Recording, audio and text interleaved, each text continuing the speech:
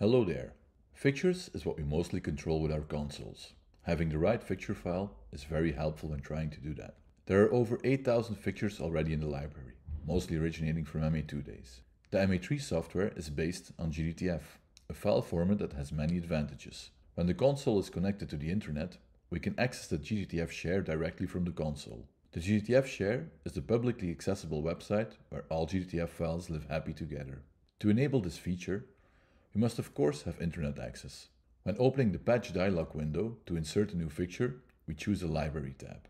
In the right upper corner, we can see the sources our library is made up of. The first source is the pre-installed MA library that comes with the software. The second source are the fixture types that belong to the user. The third source, identified by the World Wide Web globe, enables the direct access to the GDTF share.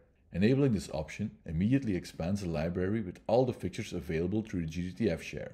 This library is updated daily and ever expanding. Of course, it is possible to download a fixture directly from the GDTF share website. For example, when our console is not connected to the internet, or we are preparing a show in advance and want to bring the GDTF file on USB drive. Go to gdtfshare.com and log in. If you haven't registered, it is totally free. Probably the best deal you're going to get this year, so do it. When you have entered the website, choose the Find Fixture tab. Let's check for example a Robe spider. The symbols to the right tell us that this GDTF was uploaded by the manufacturer and was tested in 3D and in real life. It also gets a good 5-star user review. Now we can download this GDTF onto a USB drive. Of course, one of the many advantages of GDTF is that we now have all the modes for this fixture in one file. Let's head back to the patch and choose the USB folder where we have saved the GDTF file.